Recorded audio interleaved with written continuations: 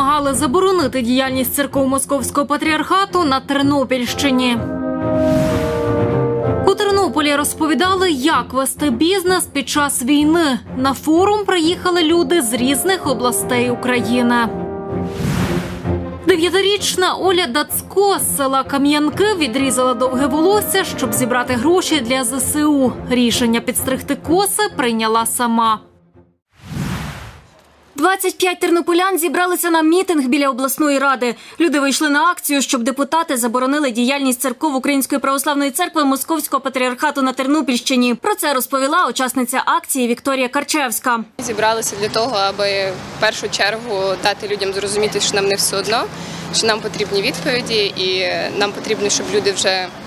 Зокрема, наші депутати прийняли рішення, прийшли на сесію і е, завершили питання про заборону московського патріархату у Тернополі та на Тернопільщині. Ми вважаємо, що якщо перейменовують вулиці банально в Тернополі, то такого як церква, яка е, навіть якщо була, є чи буде пов'язана з московським патріархатом, у Тернополі не повинно бути. Тернополянка Катерина Томчук розповіла, чому долучилася до мітингу. Я вважаю, що московському патріархату не місце в Україні. Вже як навіть не 6 місяців, вже як 8 років і 6 місяців напевно. Тому що це окупація, як я написала, релігійна московська. Тому що їхні проповіді до сих пір ведуться російською мовою, тому що вони 8 років розказували, що Росія нам не ворог. І навіть зараз, якщо чесно, Почаївська лавра розповідає, що вони не знають, чи Росія це агресор. До учасників акції вийшли начальник обласної військової адміністрації Володимир Труш, голова обласної ради Михайло Головко та начальник Нацполіції області Олександр Богомол. Сьогодні сесія. Депутати повинні зібратися. 51 питання йде про е, заборону московського патріархату. Стоїть порядку денному. Е, Попередньо зі фракціями всіма поспілкувавшись, ми розуміємо, що воно пройде, і воно точно має пройти. Голова обласної ради Михайло Головко розповів, під час засідання сесії планують звернутися до Верховної Ради, щоб заборонити діяльність московського патріархату. На жаль, але на обласному рівні сесія обласної ради не може заборонити московський патріархат, тому що є конституція, є закони, є закон про е, віросповідання, і це тільки вирішити треба на рівні парламенту. Також начальник Нацполіції області Олександр Богомол прокоментував хресну ходу вірян московського патріархату до Почаївської лаври. Територією Тернопільської області вони йшли 24 і 25 серпня. Нагадаю, хресною ходою до Почаївської лаври йшли тисячі парафіян. В окремих громадах області їх не пропускали в села. Ми мали е, несанкціонований, неконтрольований е, похід е, групи громадян України.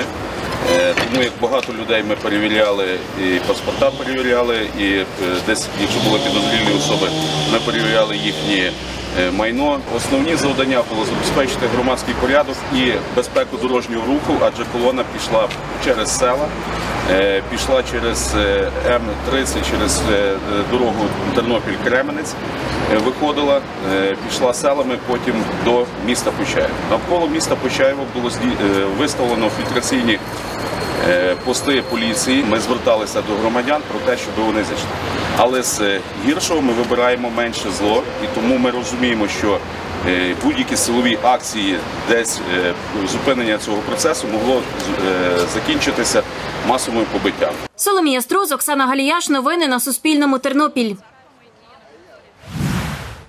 Депутати обласної ради звернулися до Верховної Ради і Кабміну щодо діяльності московського патріархату. У тексті звернення йдеться, що депутати визнають Українську православну церкву московського патріархату ворожою Україні церквою і просять Верховну Раду заборонити її діяльність. Перед голосуванням виступили представники всіх шести фракцій обласній раді. Вони внесли свої пропозиції і сказали, що їхні фракції підтримують проєкт. Також волонтери, які впродовж трьох місяців збирали в Тернопільській області підписи за заборону московського патріархату, принесли на сесію підписані документи. За словами голови облради, вдалося зібрати понад 50 тисяч підписів.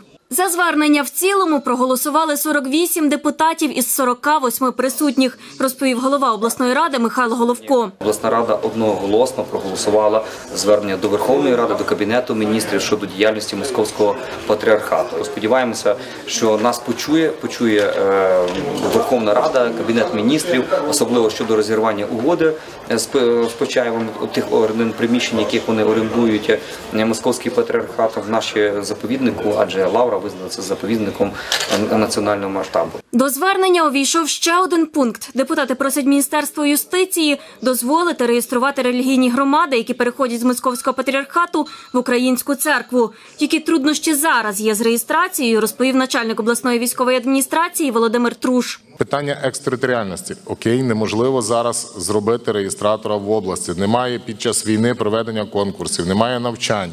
Реєстратора офіційно зареєструвати не можна. Наші релігійні організації, які будуть змінені, тому що я підписую на сьогоднішній день вже пачками статути переходу з московського до українського патріархату. Вони не мають можливості законно діяти. От чому я прошу, і ми сьогодні всі звертаємось, дайте можливість екстериторіальності. Це Львівська область, неважливо, Франківська. Наші люди готові поїхати в будь-яку область цими статутами і зареєструвати їх за українською церквою. Також під час засідання депутати присвоїли посмертно звання почесний громадянин Тернопільської області 50 загиблим військовослужбовцям. Ці бійці уродженці Тернопільщини, які загинули у російсько-українській війні з 2014 року. Якраз до Дня Незалежності ми проголосували, адже там передбачено, окрім почесного звання громадянина області, так само грошова е, подяка рідним у вигляді 65 тисяч гривень кожній родині. Загалом депутати сьогодні ухвалили більш ніж 100 рішень, розповів Михайло Головко. Одне з найважливіших каже зміни до програми Турбота. Зазначу, це програма соцзахисту. На її втілення з обласного бюджету запланували 55 мільйонів гривень на 5 років. Зокрема, програма передбачає разову виплату, за якою учасники бойових дій чи їхні рідні можуть звернутися до депутатів. Внесли зміни в програму Турбота, яка передбачає в першу чергу виплати допомогу сім'ям учасників бойових дій, бо раніше звучало тільки АТО, учасники антитерористичної операції. Тепер ми доповнили там вже будуть ті учасники, які е, сьогодні воюють в повномасштабній війні. За словами голови облради, не всі депутати змогли приїхати на засідання, оскільки 12 людей мобілізовані. Соломія Струз, Оксана Галіяш. Новини на Суспільному. Тернопіль. Сьогодні дім ветерана спільно з Київською громадською організацією Ветеран Хаб розпочали новий проєкт під назвою Плюс Плюс. Простір е, плюс плюс е, так е, є, як і наш дім ветерана для всіх захисників України, їхніх близьких, для родин загиблих наших героїв, для родин тих, хто в кого родичі безвісті зниклі, або ж для тих, хто повернулися з полону, для родичів військовополонених. От для всієї аудиторії, яку яку заторкнула війна, війна заторкнула кожного українця. От, але також і ті, хто ще більше переживають оці струси війни, і разом зможемо їх пережити легше. Тут будуть різні події для такої аудиторії людей, а також можна просто прийти, щоб отримати безкоштовні юридичні і психологічні послуги. Ярослав один із тих, хто допомагав облаштувати дім ветерана. Він учасник російсько-української війни, розповідає, брав участь у революції гідності, а потім поїхав на схід воювати. В 2014 році під Слов'янськом отримав поранення. Треба мінно-вибухове поранення ну, головою відказала ліва сторона. Частина зараз титанова сітка, частина ну, скелету немає в голові. Знаю, Відновлюється, відходжу помалу. Мені було на той час 23 роки, коли мене поранили. Я розумів, що це не кінець життя, ну, життя продовжується, треба якось ставати на ноги і ну, допомагати Україні ставати на ноги. Після повернення з фронту, каже Ярослав, військовим необхідна допомога в психологічній адаптації.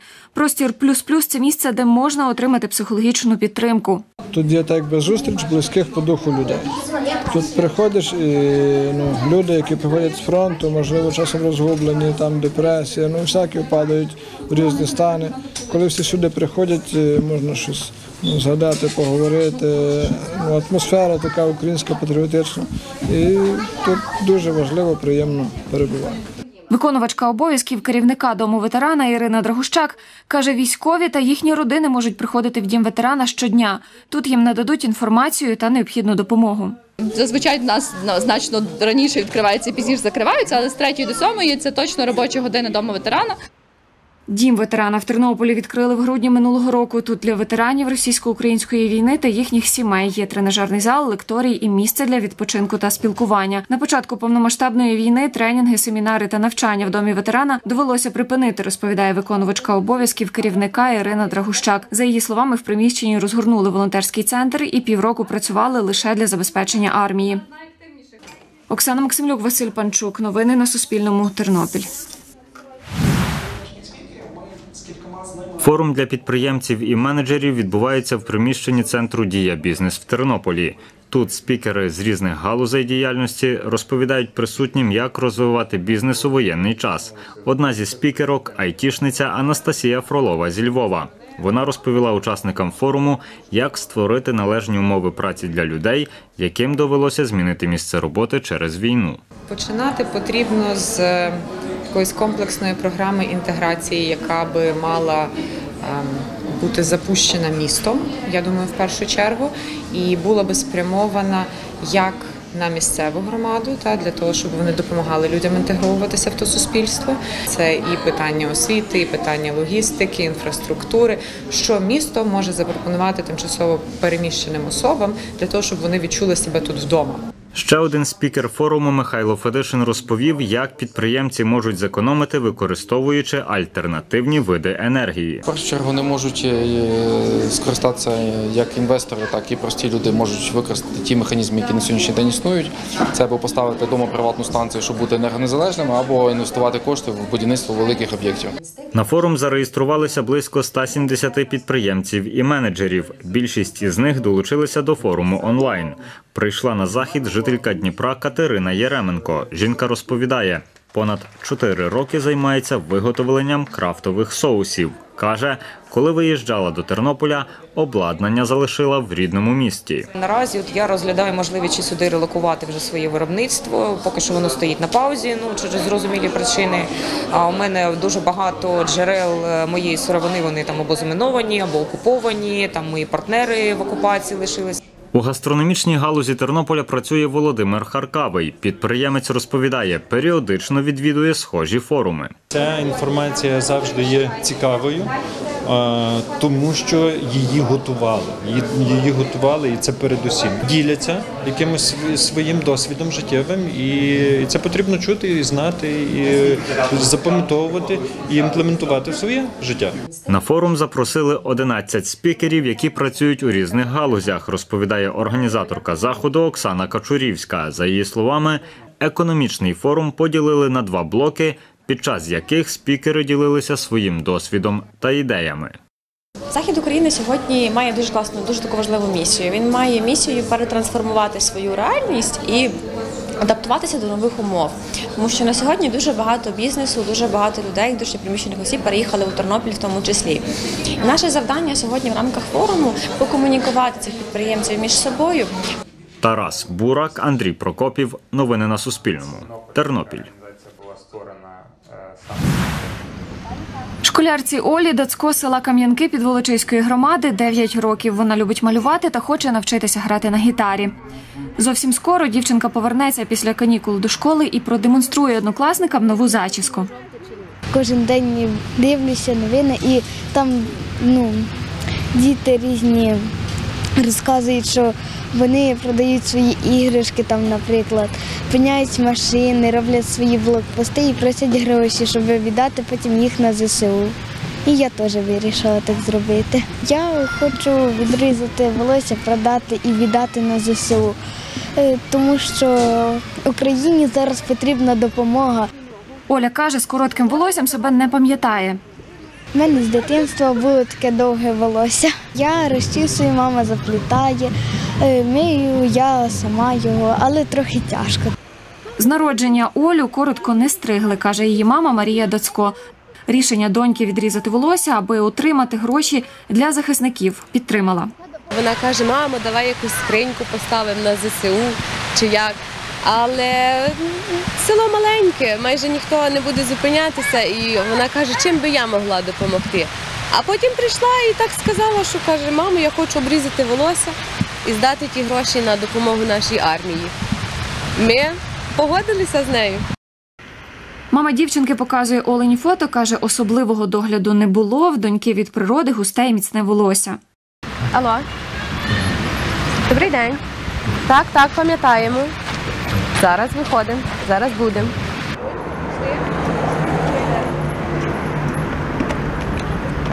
Доки майстриня готується, Оля з мамою вибирає нову зачіску.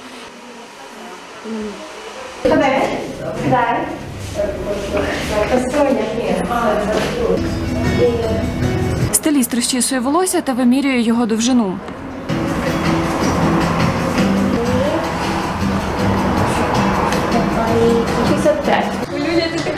Красуня. Йой, чиє? Що то? Викидав. 55 сантиметрів волосся Олі важить 142 грами, а це 8,5 тисяч гривень, каже Марія Дацько. За її словами, волосся дочки купує один з тернопільських салонів краси. Класно на душі, бо воно йде на якусь добру справу. Супер. І ці кошти я хочу відправити в Підволочиську громаду. Там є такий волонтер Сергій Гіс. Е, Ну і вони будуть купувати автомобілі для бійців. Е, Що потрібно, вони збирають кошти. Отримані за волосся гроші Марія Дацько одразу перераховує волонтеру, а Оля оглядає нову стрижку. Ні, не шкодую. Тобі подобається це Подобається. Оксана Максимлюк, Василь Панчук. Новини на Суспільному. Тернопіль. Херсонка Ірина Михайловська через повномасштабну війну переїхала до Бережан. Вона тут живе чотири місяці. Каже, найбільше любить прогулюватись набережною, бо місцевий став нагадує їй про море. Тут затишно, якийсь такий від- відпочинок, ну природа, яка допомагає трішки заспокоїтися. Жінка виїхала з Херсона 18 квітня. Каже, до цього більшість часу проводила з племінником у підвалах. Я живу з племінником, а йому 18 років, і ми розуміли, якщо зайдуть росіяни, то це е, можуть його е, принудити е, воювати. Жінка розповідає, постійно чула вибухи, адже село Чорнобаївка, де росіяни тримали склади боєприпасів, було за два кілометри від її дому. Каже, коли українські військові знищували ці склади, детонація тривала годинами. Біля двох годин, може навіть більше.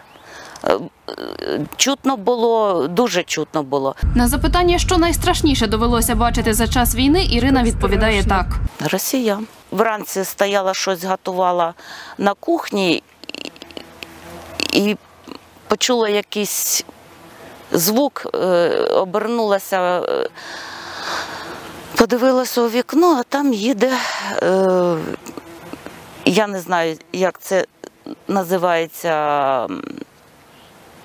Ця машина, але там кулемет був, і він дивився і направляв цей кулемет по вікнам. А в нас вже є досвід, коли люди вийшли подивитися на балкон на цих, е, то не стало людей з балконом. Переїхавши сюди, жінка почала більше спілкуватися українською. Мої знайомі, які зараз мешкають, ну, мешкають за кордоном, коли спілкуються по телефону російською мовою, то на них дуже звертають увагу.